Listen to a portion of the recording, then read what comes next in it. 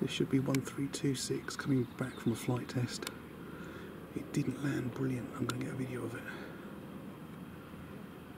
It's 25 times zoom. This is the new livery of it. United Emir- Emirates this is.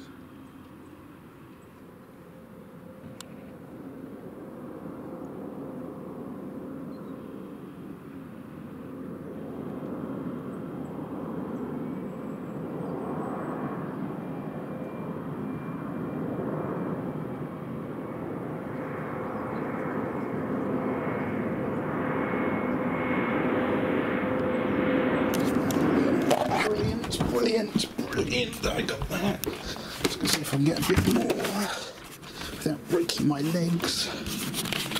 Ah, fucking hell. Ow.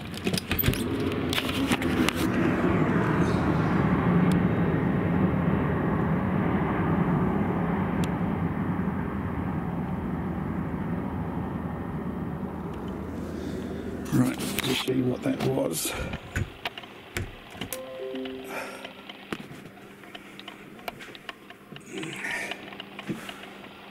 Okay, so. Ah, see if it's just disappeared off the screen, but just so you can see what that is, rare plane for you. 1326 Night Emir- Emirates Air Force. Time is 3:58 p.m. 29th of November 2019. Now there you go. I've just switched from ADSB to FreeDAR. MCEOE is the call sign. That gives you a little bit of where it's been today. That's not showing every pass it's made. It's been going round and round and round.